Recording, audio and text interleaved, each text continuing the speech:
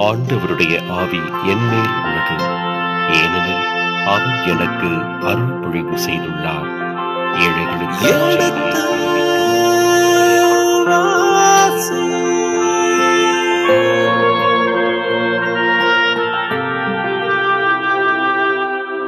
எடுத்து வாசி.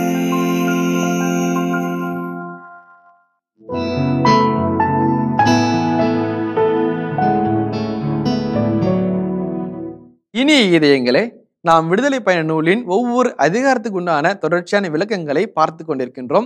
அதன் தொடர்ச்சியை இன்று நாம் தந்தையிடமிருந்து கேட்டு தெரிந்து கொள்வோம். தந்தையே வணக்கம். வணக்கம். உங்களுடைய விளக்கங்களுக்கு நாங்கள் காத்து கொண்டிருக்கின்றோம்.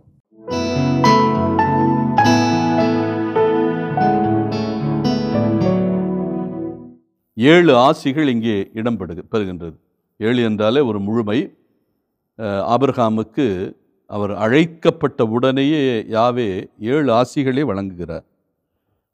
உன்னை பெரிய இனமாக்குவேன் உனக்கு ஆசி வழங்குவேன் உன் பெயரை நான் சிறப்புறச் செய்வேன் நீயே ஆசியாக விளங்குவாய் உமக்கு ஆசி கூறுவோருக்கு நான் ஆசி வழங்குவேன் உன்னை சபிப்போரை நானும் சபிப்பேன் உன் வழியாக மண்ணுலகின் மக்களினங்கள் அனைத்தும் ஆசி பெறும். அப்படி என்றால் இவ்வளவு ஆசிகளை நீர் இந்த மக்களுடைய மூதாதையராகிய ஆபிரஹாமுக்கு கொடுத்திருக்கிறீர். அது மட்டுமல்ல ஈசாக்கு இருபத்தி ஆறாம் அதிகாரம் இரண்டு முதல் நான்கு. ஈசாக்குக்கு என்ன ஆசி வழங்கி இருக்கிறார் இருபத்தி ஆறாம் அதிகாரம் இரண்டு முதல் நான்கு. அப்பொழுது ஆண்டவர் அவருக்கு தோன்றி எகிப்து நாட்டிற்கு நீ போகாமல் நான் உனக்கு காட்டும் நாட்டிலேயே தங்கியிரு. அந்நாட்டில் நீ அந்நியனாய் வாழ்வாய்.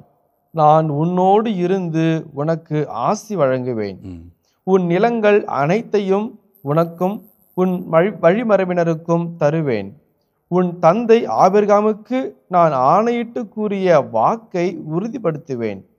உன் வழிமரபை விண்மீன்களைப் போல் பெருகச் செய்வேன். உன் வழிமரபினருக்கு இந்த நிலங்கள் அனைத்தையும் தருவேன். உலகின் அனைத்து இனத்தாரும் உன் வழிமரபின் மூலம் தங்களுக்கு ஆசி கூறிக்கொள்வர். ஆக ஆபிரகாமுக்கு எத்தகைய ஆசி வழங்கினாரோ அதே அதை ஒத்த ஒரு ஆசியை இங்கே ஈசாக்குக்கும் வழங்குகிறார். ஆணையிட்டு சொல் சொல்லுகிறேன் என்று கூறுகிறார். கடல் உன் வழிமரபை விண்மீன்களைப் போல பெருகச் செய்வேன். உன் வழிமரபினருக்கு நிலங்கள் அனைத்தையும் கொடுப்பேன். அனைத்து இனத்தாரும் உன் வழிமரபின் மூலம் தங்களுக்கு ஆசி கூறிக்கொள்வர் என்று நிலம் வழங்குவதாகவும் விண்மீன்களைப் போல பெருகச் செய்வதாகவும் அவர் ஆசி கூறுகிறார். அதே போல யாக்கோப்புக்கும் ஆசி கொடுக்கிறார். இருபத்தி எட்டாம் அதிகாரம் பதிமூன்று முதல் பதினைந்து. இவர்களெல்லாம் இந்த மூன்று பேருமே முதுபெரும் தந்தையர்கள் என்று அழைக்கப்படுகிறார்கள். அஹ், ஆபிரகாம் ஈசாக்கு யாக்கோப்பு இவர்களுடைய வழிமுறையினராகத்தான் இஸ்ராயல் மக்கள் இருக்கிறார்கள். இப்போ யாக்கோப்புக்கு என்ன ஆசி வழங்குகிறார்? யாவே. பதிமூன்றிலிருந்து பதினைந்து முடிய. ஆண்டவர் அதற்கு மேல் நின்று கொண்டு உன் மூதாதையராகிய ஆபிரகாம் ஈசாக்கின் கடவுளாகிய ஆண்டவர் நானே. நீ படுத்திருக்கும் இந்த நிலத்தை உனக்கும் உன் வழிமரபிற்கும் தந்துள்ளேன். உன் வழிமரபோ நிலத்தின் மணலுக்கு ஒப்பாகும். நீ மேற்கு கிழக்கு வடக்கு தெற்கு திசைகளில் பரவிச் செல்வாய். உன்னிலும் உன் வழிமரபிலும் மண்ணுலகின் எல்லா இனங்களும் ஆசி பெறுவன. நான் உன்னோடு இருப்பேன். நீ எங்கு சென்றாலும் உனக்கு நான் காவலாயிருந்து இந்நாட்டிற்கு உன்னை திரும்பி வரச் செய்வேன். ம், உன்னை திரும்பி வரச் செய்வேன். உன் வழிமரபோ நிலத்தில் மணலுக்கு ஒப்பாகும். நீ மேற்கு கிழக்கு வடக்கு தெற்கு எல்லா திசைகளிலும் பரவிச் செய் பரவிச் செல்வாய். மண்ணுலகில் எல்லா இனங்களும் ஆசி பெறும். யாரை குறித்து? உன்னை குறித்து. நான் உன்னோடு இருப்பேன். இதைவிட என்ன ஆசி வேண்டும்? இஸ்ராயல் மக்களுக்கு இவ்வளவு வார்த்தைகளை நீ சொல்லிவிட்டு இப்பொழுது இந்த மக்கள் மீது கோபம் கொள்கிறீரே கொள்ளலாமா கடும் சினம் கொள்ளலாமா? நீர் இப்பொழுதே உம்முடைய மனதை மாற்றிக்கொள்ளும். உம்முடைய வழிமரபினர் இந்த யாக்கோப்பின் வரிம வழிமரபினருக்கு ஆபிரகாமின் ஈசாக்கின் வழிமரபினருக்கு நீர் கொடுத்த வாக்குறுதியை நிறைவேற்றும். அப்படி நிறைவேற்ற வேண்டும் என்றால் நீர் என்ன செய்ய வேண்டும்? உம்முடைய எண்ணத்தை மாற்ற வேண்டும் என்று யாவை இடத்திலே பரிந்து பேசுகிறார். பரிந்துரை செய்கிறார். யாவையை பொறுத்தமட்டில் மோசை வழியாக ஒரு புதிய இனத்தை உருவாக்க வேண்டும் என்பது அடித்தள விருப்பம்.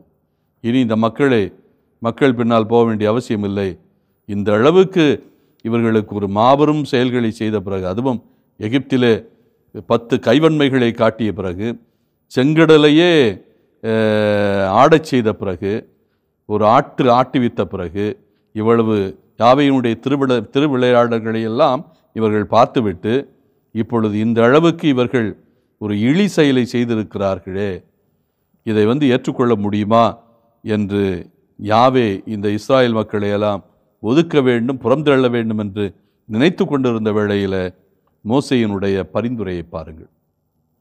ஒரு தலைவன் அவன் தலைமைத்துவம் எனக்கு இருக்கிறது என்பதை இங்கே நிரூபித்து காட்டுகிறான். நான் எந்த விதத்திலும் எனக்கு ஒப்படைக்கப்பட்டேன் ஏனென்றால் இஸ்ராயல் மக்களை எகிப்திலிருந்து விடுவிக்க வேண்டும் என்பது மோசையினுடைய நாற்பது ஆண்டு கனவு. அந்த நாற்பது ஆண்டு கனவை அவன் தன்னுடைய உள்ளத்தில் புதைத்து வைத்து அது ஒரு அஹ், கிளிஞ்சலில் இருக்கிற முத்து போல வளர்ந்திருக்கிறது. இன்றைக்கு அந்த முத்தை பார்க்கின்ற ஒரு தருணத்தில் பார்த்து கொண்டு இருக்கின்ற தருணத்தில் இந்த முட்டை முத்தை பறித்து கொண்டால் எப்படி இருக்கும்? அதான் அவனுக்கு வேதனையாக இருக்குது. அதை செய்வதற்கு அவன் தயாராக இல்லை. அதை அனுமதிப்பதற்கு தயாராக இல்லை. எந்த ஒரு தலைவனும் அதற்கு த- அதற்கு உடன்பட மாட்டான். அதனால தான் மோசே யாவை இடத்தில் இந்த அளவுக்கு அழுத்தமாக பேச முடிகிறது. அவ்விடத்தில் இறந்து கேட்க முடிகிறது. இறுதியாக இந்த இரண்டாவது பகுதியுடைய கடைசி ப பகுதி மோசையின் பொருட்டு யாவே இறங்குதல். பதினான்காம் வசனம் வாசியுங்கள். அவ்வாறே ஆண்டவரும் தம் எண்ணத்தை மாற்றிக்கொண்டு தம் மக்களுக்கு செய்யப்போவதாக அறிவித்த தீங்கை செய்யாது விட்டுவிட்டார். அறிவிப்பதாக அவர் நினைத்த தீங்கை அறிவித்த தீங்கை செய்யாது விட்டுவிட்டார்.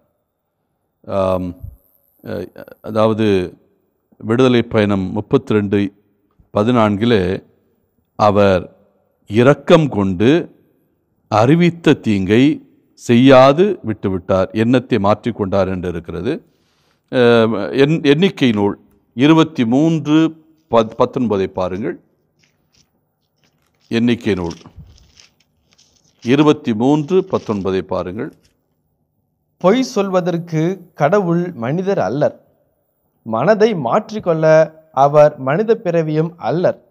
அவர் சொல்லியதை செய்யாமல் இருப்பாரா. அல்லது உரைத்ததை நிறைவேற்றாமல் இருப்பாரா?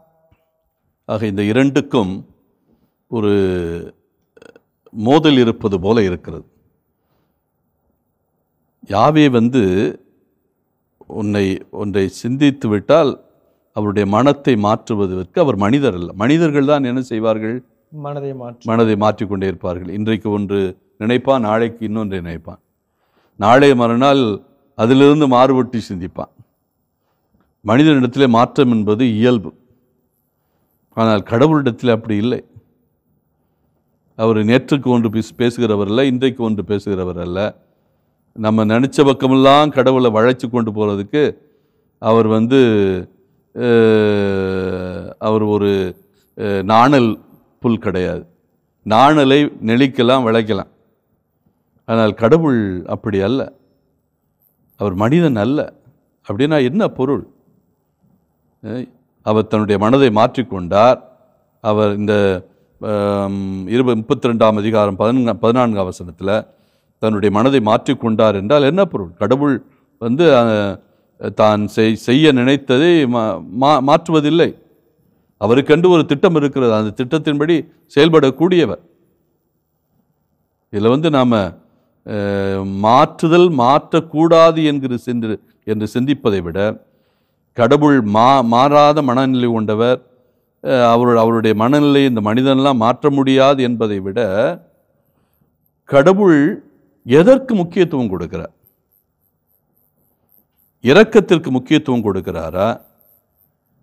நீதி தீர்ப்புக்கு தண்டனை தீர்ப்புக்கு முக்கியத்துவம் கொடுக்கிறார்? அதாவது நீதி தீர்ப்பு என்பதை விட தண்டனைக்கு எதற்கு முக்கியத்துவம் கொடுக்கிறார்? இறை- இறைவனுடைய இறைவனுடைய இரக்கத்தை பொறுத்த மட்டில் நீங்க என்ன செய்தாலும் மாற்ற முடியாது. அவருடைய இரக்கத்தை மாற்றுவதற்கு எந்த மனிதனாலும் முடியாது. நீ இரக்கம் காட்டாதே அப்படின்னு கடவுள்கிட்ட சொல்லவே முடியாது. ஆனால் அவர் தண்டனையை மாற்றக்கூடியவர். எப்பொழுது மாற்றக்கூடியவர்? அவருடைய திட்டப்படி மனிதன் செயல்படுவதற்கு தயாராக இருக்கிற போது. அதைத்தான் மீட்பு திட்டம் அப்படிங்கிறோம். இறைவனுடைய மீட்பு திட்டம் இரக்கத்தினுடைய திட்டம். அந்த திட்டத்தில் மாற்றமே செய்யவே முடியாது. யாரும் அசைச்சு கூட பார்க்க முடியாது. மோசை வந்தாலும் மோசையினுடைய அப்பா வந்தாலும் மாற்ற முடியாது. அதில் மாற்று கருத்தே இல்லை. என்றால் இ- இறைவனை பொறுத்த மட்டில் இரக்கமுடையவர் அன்புடையவர் அவருடைய அன்பை மாற்ற முடியுமா? நீ அன்பு கொள்ளாதே என்று நான் சொல்ல முடியுமா? எதிலே அவர் மாற்றக்கூடிய தன்மை இருக்கிறது. அது எப்போ மாற்றுவார்? மனிதர்கள் மன்னிப்பு கேட்கிற போது செய்த தவறுக்கு வருந்துகிற போது இந்த தவறை நாங்கள் திரும்பி செய்ய மாட்டோம் என்று வேண்டுகிற போது நிச்சயமாக மாற்றக்கூடிய தன்மை இருக்கிறது. அந்த தண்டனை தீர்வை ஒத்தி வைக்கக்கூடிய தன்மை இருக்கிறது. அதான் கடவுளுடைய அடிப்படை சிந்தனை. நினிவேயில் இறைவாக்கினர் யோனாவினுடைய வாழ்க்கையில பார்க்கிறோம். இந்த மக்கள் எல்லாம் நினைவே அழியப் போகிறது இனிமேல் நினைவு நினைவேக்கு வாழ்வே இல்லை என்று சொல்லப்படுகின்ற போது யோனா சொல்லிட்டு போயிட்டார். யோனாவை பொறுத்தமட்டில் என்ன? நினிவே அழிய வேண்டும். அதான் அவனுடைய திட்டம். அதனால் உயரமான ஒரு இடத்துல போய் உட்காந்து அவன் பார்க்குறான். இது எப்பொழுது நிகழும்? நாட்களை அவன் அந்த கண- கணக்கிட்டு கொண்டே இருக்கிறான். நாற்பதுலேருந்து கீழே இறங்கி எண்ணிக்கொண்டே இருக்கிறான். ராக்கெட்டு மேலே ஏறுவதற்கு முன்னால் பத்து ஒன்பது எட்டு ஏழு என்று எண்ணுகிறது போல இவன் நாற்பதிலிருந்து எண்ணிக்கொண்டே இருக்கிறான். ஒன்றை எண்ணி முடித்து விட்டான். ஆனால் நினிவி அழிந்ததா? அழியவில்லை. ஏன்? ஏன் அழியவில்லை? மக்கள். அந்த மக்கள் இந்த செய்தியை கேட்டு நினிவே அழியவே கூடாது. அதற்காக நாங்கள் எதையும் செய்வதற்கு தயாராக இருக்கிறோம் என்று சொல்லி சாக்குடை உடுத்தி உண்ணா நோன்பிருந்து அவர்கள் யாவை வேண்டினார்கள்? அந்த அழிவு திட்டம் ஒத்திவைக்கப்பட்டது. இறைவனுடைய இரக்கம்தான் மாறாதது. இறைவனுடைய அன்புதான் மாறாதது. இறைவனுடைய அந்த சொல் மாறாது. ஆனால் எது மாறும்? மனிதன் மனம் மாறுவதற்கு தயாராக இருக்கிற போது அவனை அழிக்கின்ற திட்டங்கள் மாறும். அதான் இதில் ஒரு வேறுபாடு. அதனால் கடவுள் தன்னுடைய மனதை மாற்றிக்கொண்டார் என்றால் அவர் எல்லாத்திலையும் மாற்ற முடியாது. எதில் மாற முடியும் என்றால் இந்த மீட்பு திட்டத்திற்கு எதிராக ஒரு மன் ஒரு மனிதன் செயல்பட்டால் அதற்கு மனம் வருந்தினால் அவர் மாறுவார்.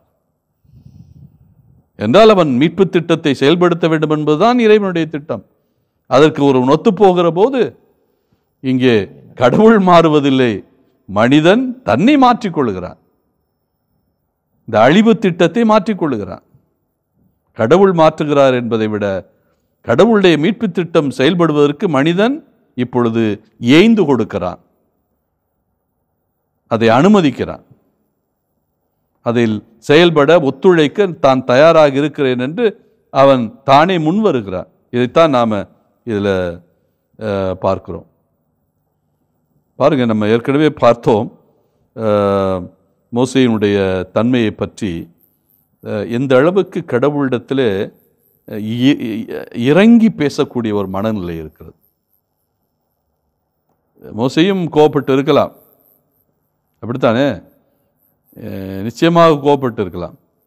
யாவையினுடைய கோபம் மேலே இருப்பது போல மேலே பொங்கி வருவது போல இவரும் இந்த மக்களுக்கு எதிராக கோபப்பட்டு இருக்கலாம் ஆனால் அப்படி அல்ல விவிலியம் சொல்லுகிறது மோசையைப் போல சாந்தமுள்ள மனிதர்கள் இந்த உலகத்தில் இல்லை என்று சொல்லுகிறது. ஆனால் அதற்காக மோசையை கோவப்படவே மாட்டார் என்றெல்லாம் சொல்ல முடியாது. எந்த நேரத்தில் கோவப்பட வேண்டுமோ அந்த நேரத்தில் கோ கோவப்படக்கூடியவர் கோபம் உள்ள இடத்துல கோ குணம் இருக்கும் என்று சொல்வார்கள். மோசையை பொறுத்த மட்டிலே பொதுவாகவே இந்த மனிதன் சாந்தமுள்ள மனிதன். இவனை பார்த்தாலே கோபப்படுகிற மனிதர்கள் சாந்தமாகி விடுவார்கள்.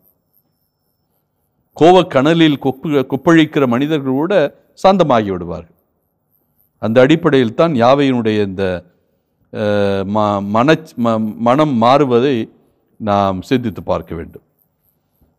இப்பகுதிக்கு அடுத்து முப்பத்தி மூ இரண்டாம் அதிகாரத்தில் மூன்றாவது பகுதியாக மோசே ஆரோன் வாக்குவாதம். இப்பொழுது நடந்ததெல்லாம் மலையிலே நடந்து கொண்டு இருக்கிறது முதல் பகுதியிலே மலை அடிவாரத்தில் நடந்ததை சொன்னோம். இரண்டாவது பகுதியிலே மலை உச்சியில் நடந்ததை சொன்னோம். இப்பொழுது மலை அடிவாரத்தில் மீண்டு வருகிறோம். மோசே திரும்பி மலையிலிருந்து இறங்கி வந்தார். முன் பின் இருபுறமும் எழுதப்பட்ட உடன்படிக்கை பலகைகள் இரண்டும் அவர் கையில் இருந்தன. ஆக மோசே ஆரோன் வாக்குவாதம் மலையடிவாரத்தில் நடக்கிறது. அதில் இந்த பகுதியானது மீண்டும் இந்த பகுதியை வந்து நாம் நான் மூன்று பகுதிகளாக பிரிக்கலாம். மோசேயும் யோசுவாவும் உரையாடுவது அதான் பதினைந்து முதல் பதினெட்டு. இரண்டாவது பகுதி மோசேயின் கோபக்கணல் பத்தொன்பது முதல் இருபத்தி ஒன்று. மூன்றாவது ஆர்வனின் பதில் மொழி இருபத்தி ரெண்டு முதல் இருபத்தி நான்கு. அதில் முதல் பகுதியைத்தான் நம்ம இப்பொழுது பார்க்கிறோம். பதினைந்தாம் வசனத்திலிருந்து பதினெட்டு. மோசே கீழே இறங்குகிறார். மோசேக்கும் யோசுவாவுக்கும் ஒரு உரையாடல் வரு வருகின்ற வழியிலே நடந்து கொண்டு இருக்கிறது இறங்குகிற போதே ஒரு உரையாடல் நடந்து கொண்டு இருக்கிறது மோசே கையில் என்ன இருக்கிறது? மலையிலிருந்து இறங்கி வருகின்ற போது இருபுறமும் எழுதப்பட்ட உடன்படிக்கை பலகைகள் இரண்டு அவர் கையில் இருக்கிறது. இந்த உடன்படிக்கை ப பலகை என்பது இருபுறமும் எழுதப்பட்டு இருக்கிறது அப்படி என்றால் ஒவ்வொரு பலகையிலும் இரண்டு புறம் எழுதப்பட்டு இருக்கிறது இப்போ ரெண்டு பலகைகள் கொண்டு வருகிற வருகிறார்கள் இந்த ரெண்டு பலகைகள் என்கிற போது ஒரு சிந்தனை இருக்கிறது. இந்த ரெண்டு பலகைகள் ஒன்று யாவையினுடைய ஆதார பலகை இன்னொன்று இஸ்ராயல் மக்களுக்குரிய ஆதார பலகை. இப்போ இந்த ரெண்டு பலகைகளிலும் என்ன இருக்கிறது? ஐந்து ஐந்து கட்டளைகள் ஒரு பக்கத்தில் ஐந்து கட்டளையும் இன்னொரு பக்கத்தில் ஐந்து கட்டளையும். அப்படி என்றால் பத்து கட்டளைகளை இரண்டு பக்கமும் எழுதியிருக்கிறார்கள். அதே போல இன்னொரு பலகையில் பத்து கட்டளையை முன்புறமும் பின்புறமும் எழுதியிருக்கிறார்கள். ஒன்று யாவேயிடத்தில் இருக்க வேண்டியது? இன்னொன்று இஸ்ராயல் மக்கள் மத்தியிலே இருக்க வேண்டியது. யாவே எழுதியனுடைய ஆதார பலகை. அது யாவேக்கு உரியது? இன்னொன்று இஸ்ராயல் மக்களுக்குரியது. இப்படி இரண்டு பலகைகளை சொல்லுகிறார்கள். இன்னொரு கருத்து என்னவென்றால் இந்த ரெண்டு பலகையிலும் ரெண்டு பலகையிலும் பத்து கட்டளைகள் ஒரு பலகையில் ஐந்து கட்டளையும் இன்னொரு பலகையில் ஐந்து கட்டளையுமாக பத்து கட்டளைகள் எழுதப்பட்டது என்கிற கருத்தும் சொல்லுகிறார்கள். எது எப்படி இருந்தாலும் இந்த ரெண்டு பலகைகளில் பத்து கட்டளைகள் எழுதப்பட்டு இங்கே கொண்டு வரப்படுகின்றது. பதினாறாம் வசனத்தை வாசியுங்கள். அப்பலகைகள் கடவுளால் செய்யப்பட்டவை பலகைகள் மேல் பொறிக்கப்பட்டிருந்த எழுத்தும் கடவுள் எழுதியதே. பலகைகள் கடவுளால் பொறிக்க எழுதப்பட்டவை கடவுளாலே ரெண்டு பக்கமும் எழுதப்பட்டு இருக்கிறது என்கிற அந்த சிந்தனை இங்கே சுட்டிக்காட்டப்பட்டு படுகிறது. இதை நாம் சற்று சிந்தித்து பார்க்க வேண்டும். இந்த உடன்படிக்கை பலகைகளில் அதாவது பத்துக்கட்டளை பத்து கட்டளை பலகைகளில் கடவுள் எழுதியிருக்கிறார். நிச்சயமாக அதில் மாற்று கருத்து இல்லை. கடவுள்தான் ஆசிரியர். எல்லாவற்றிலும் குறிப்பாக விவிலியத்தினுடைய ஆசிரியரையும் நாம் கடவுள் என்று தான் சொல்லுகிறோம். அதில் எந்தவித மாற்று கருத்தும் இல்லை. ஆனால் கடவுளே மோசையிடத்தை சொல்லுகிறார் நீ இவற்றை எல்லாம் எழுது. இது பற்றியெல்லாம் எழுதி வை என்று சொல்கிறார் இது- இதே விடுதலை பயண நூலிலே யாவே அஹ் மோசையிடத்தில் சொல்லுகிறார் நான் சொல்லுவதையெல்லாம் எழுதி வை என்று. இந்த பத்து கட்டளையை பொறுத்த மட்டில் பத்து வார்த்தைகள் தான். பத்து வார்த்தைகள். இது வந்து பத்து பேராகிராஃப் என்றெல்லாம் நாம் சொல்ல முடியாது. பத்து பகுதிகள் என்று சொல்ல முடியாது. பத்து வார்த்தைகளை ரத்தின சுருக்கமாக கட்டளைகளாக தந்திருக்கிறார். இது யாவை எழுதியதுதான். அதில் மாற்று கருத்துக்கு வாய்ப்பில்லை. அவரே எழுதி கொடுத்திருக்கலாம் இந்த கற்பலகைகளை. ஆனால் பொதுவாகவே விவிலியத்தை நாம் எடுத்துக்கொண்டோம் என்றால் விவிலியத்தை வந்து கடவுள் எழுதினார் என்கிற கருத்து தான் நமக்கு இருக்கிறது. இது கடவுள் எழுதிய புத்தகம். ஆனால் இதை எப்படி நாம் புரிந்து கொள்வது கடவுள் எழுதிய புத்தகம் என்பதை எப்படி புரிந்து கொள்வது கடவுளே நேர வந்து எல்லாத்தையும் எழுதினாரா? அந்த பத்து கட்டளை எழுதியது போல கடவுளே எல்லாவற்றையும் நேர வந்து எழுதினாரா? அப்படி இருக்க முடியாது. கடவுள் நேர எழுத முடியாது. இவ்வளவையும் கழுது கடவுள் எழுதினாருன்னு சொல்ல முடியாது. அதுவும் வரலாறு அல்ல. நமக்கு நன்றாக தெரியும் யார் யார் எழுதினது எப்படி எழுதினார்கள் என்று நன்றாகவே நன்றாகவே தெரியும். அப்படி என்றால் இதை எப்படி புரிந்து கொள்வது இதற்கு விவிலியத்தில் இரண்டு பகுதிகள் ஒரு நல்ல விளக்கத்தை கொடுக்கக்கூடியது. இதன் தொடர்ச்சியை மீண்டும் அடுத்த பகுதியில் பார்ப்போம். இயேசுவுக்கே புகழ். முறையை வாழ்க. விவிலியம் என்பது நாம் எடுத்து வைத்திருக்கிற மறைநூல் என்பது இறைவனுடைய வார்த்தை தான் ஆனால் இந்த இறைவனுடைய வார்த்தை எப்படி மனிதனுக்கு வந்து சேர்த்திருக்கிறது? இன்றைக்கு எப்படி இந்த விவிலியம் என்கிற புத்தகமாக மாறி இருக்கிறது